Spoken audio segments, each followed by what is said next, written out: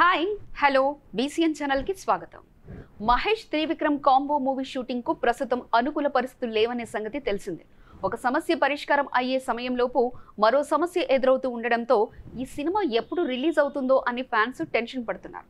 పూజా హెగ్డే వల్ల ఈ movie shooting ఆలస్యం అవుతుందని తెలుస్తుంది. ఈ సినిమా రెగ్యులర్ షూట్ వచ్చే ఏడాది మొదలవుతుందని కామెంట్లు వినిపిస్తున్నాయి. మరోవైపు రాజమౌళి మహేష్ కాంబో మూవీకి సంబంధించిన షాకింగ్ అప్డేట్ వచ్చిన సంగతి తెలిసిందే. విదేశాల్లో ఈ సినిమాను షూట్ చేస్తున్నామని తాజాగా ప్రముఖ రచయిత విజయేంద్ర ప్రసాద్ వెల్లడించగా ఆ విషయాలు సోషల్ మీడియాలో వైరల్ అయ్యాయి. అయితే రాజమౌళి సినిమాకు మహేష్ రెమ్యునేషన్ తీసుకోవడం లేదని తెలుస్తుంది.